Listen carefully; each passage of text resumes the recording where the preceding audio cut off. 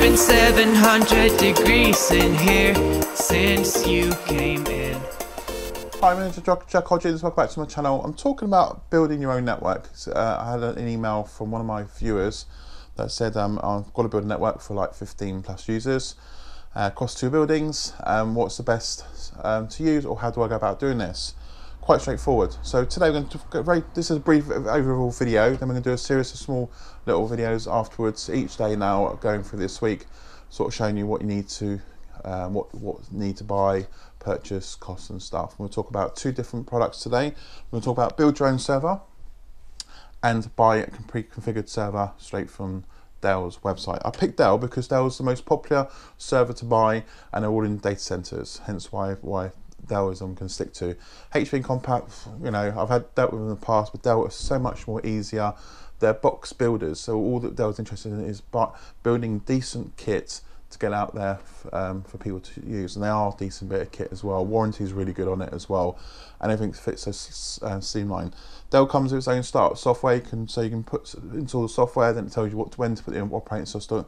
It does all the partitioning and, and loads all the drivers for Windows Server itself afterwards which is really nice and some of these actually do work with um, virtual server. Which we'll talk about virtual server coming up in the next couple of videos as well um, where you can virtualize the server so you can create multiple environments inside one bit of hardware. So because obviously when the reason why I say that is any server in a company they don't always neutralize 100% of the processor or the memory of a physical server so you've got 15 users on a typical box like this 16 gigs of RAM um, quad core inside then you'll find you'll never use all that in one great big go so th then you're wasting half the hardware, hence why virtualization is the next best thing. You can virtualize the environments. You can even build test environments inside that so you can test stuff before you make it live as well and it won't affect any of the service performance itself.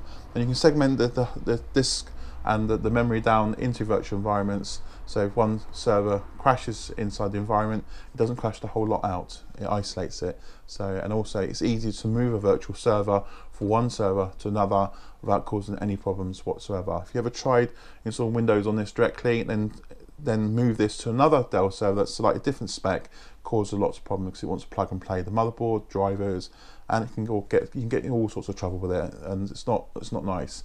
The thing you've got to remember when you build servers, recovery time has got to be as quick as possible. So running a virtual server on this, so if you buy if you had a second box like this, it literally will take you like 30 minutes or so, depends on the drives you got, what, what, what you back it up onto. You can move the virtual environment from this machine to the next one, power up, and you're done within the hour and stuff. And it's better rely on the backup because you're physically moving the files off of here. So long as the disk's not corrupted, easy to move the files off onto another one, get right up and running as well. And also, if you've got two boxes like this you brought, it's easier to run both environments on both boxes, keeping one as a standby, not plugged into the network. So you can then quickly take the files, restore it over there really quickly, back up and running really quickly. Um, so limited downtime, then you can get somebody out here to repair this server, and away you go. So if you're looking at cheaper options, so I'll keep this video short. I'm going to keep the videos down to about 10 minutes each. So uh, I'm not going to be talking too long about it because obviously we will get to the point on this as well. So this is the expensive way of doing it. Dell, for a decent box like Dell, so if you've got a short server, one U rack, so these are great, you can stack them all up in a, in a rack itself, or they can actually be stuck on the bench as long as the room's nice and cold, because server likes being cold. Uh, same with when you build a, a, a cheap box room temperature cold, it will last longer for you. So boxes like this uh, probably set you back about, depending on the spec on it, I mean, I've spent these up to nearly £2,000 spend on them. Comes with one year warranty, which is next business day. You can extend the warranty for four hour response time, which basically means something happens within the four hours, you phone Dell, four hours later, they turn on site. But if you do it through middle of the day, say about three o'clock ish, and you've got a server gone down, you phone them, they won't be out till next morning, first thing in the morning. They normally ask you to tell you what's up with it, after you run some diagnostics. So when you install these, you install the diagnostic partition, which you can run through. It tests all the hardware out, so then it tells Dell on the phone what parts to bring out when they come to site and stuff. So they're quite good on that one. So um, yeah, that's the warranty side. Really nice. You can extend the warranty each year uh, and keep it going. So you can spend about two grand on the, on on a single box like this, depending on the spec. Uh, I've spec these up to at least a thousand pound because they'll do deals from time to time, which is really good. They normally knock about three or four hundred pounds off. They're the ones to look to go for as well. You're going to buy um, if you can afford redundancy and you've got like um, a, a, four or five grand um, budget in mind. Um, and that's for the whole network. Then obviously you need to go uh, and build uh, one built, so we'll talk about in a sec.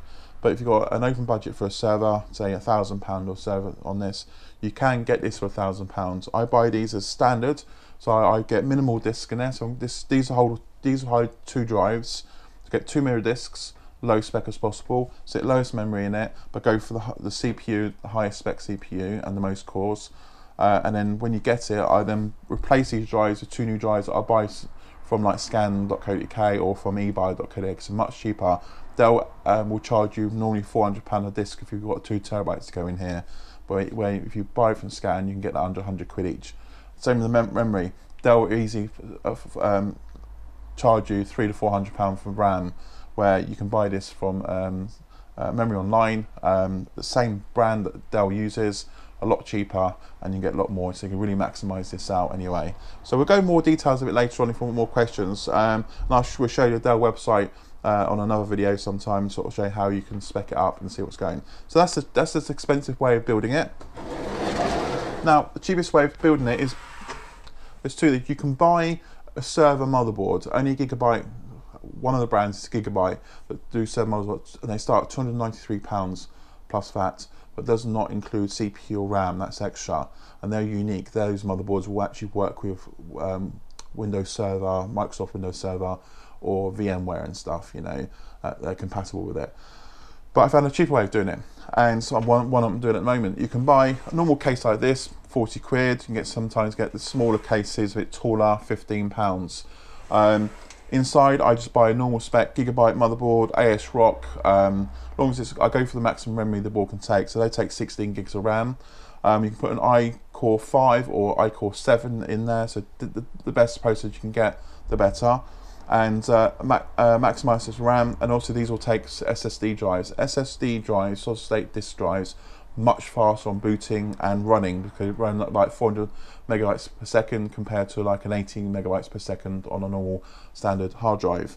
Um, so what we'll do is build this up, 16 gig of RAM, stick much stick an ISO Core 7 chip in it, so you can spend at least say 300 pounds on this for the, for that sort of spec two uh, SSD drives running mirror, or if you can afford three SSD drives, go for about 500 gigabyte each uh, in there, uh, and, and, raid that up basically if you can. Install Windows 10 on this. Um, the reason why I install Windows 10 because then you can buy what you call uh, VM Workstation um, Pro, the Pro Edition. It's about 200 pounds. That will allow you to run um, virtual environments inside. So in theory, this box could hold a good decent spec for virtual servers. So that'd be enough to of file and print, database server, and exchange email, and maybe a couple other smaller ones that can run sort of like workstations or can be sort of a, uh, like a, a, a, development environment so you can test things before you roll it out live. And this will, ha will handle it pretty well as well.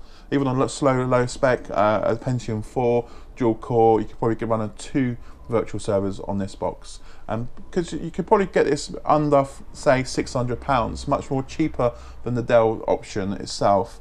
Um, keep the virtual environments much more easier to recover as well, faster recover. And you can always put a two terabyte storage drive, normal drive in here, run the virtual site, run the operating system on the SSD drive to make it super quick and then use the other drive external storage as well which you can then combine that within the virtual workstation itself nice and easy.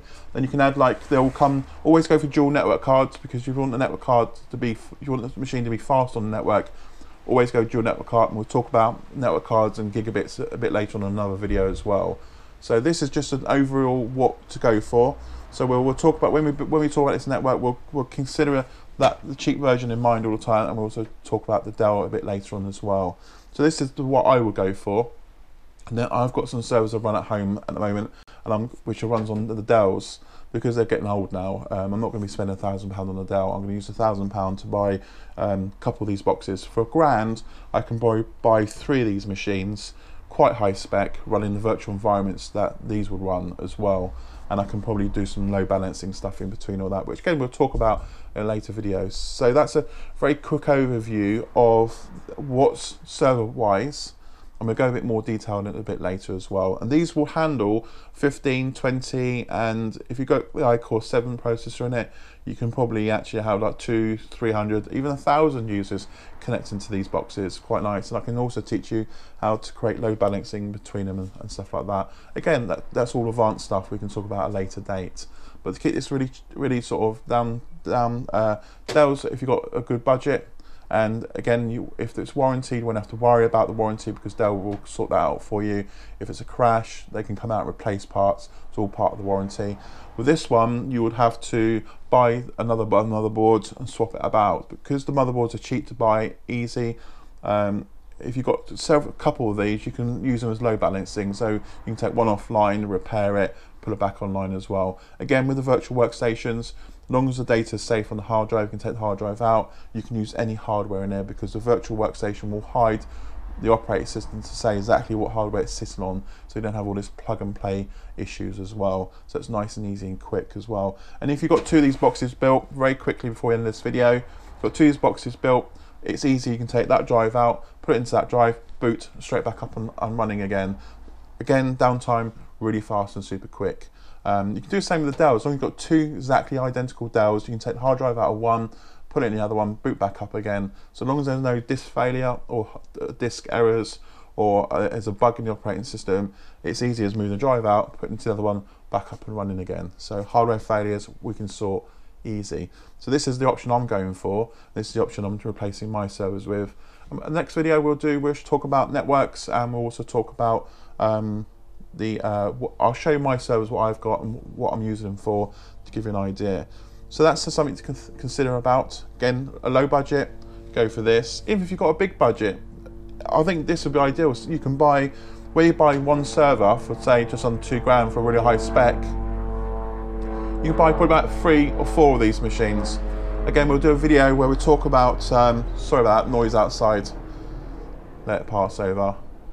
But another, we will talk about the actual spec, um, and I'll probably in the video here, I'll put an example of what spec that my, my one is, and compared to Dell, and we'll do costs, so we do today's costs against both of those. So look at the comments below, and I have all the details there for you as well.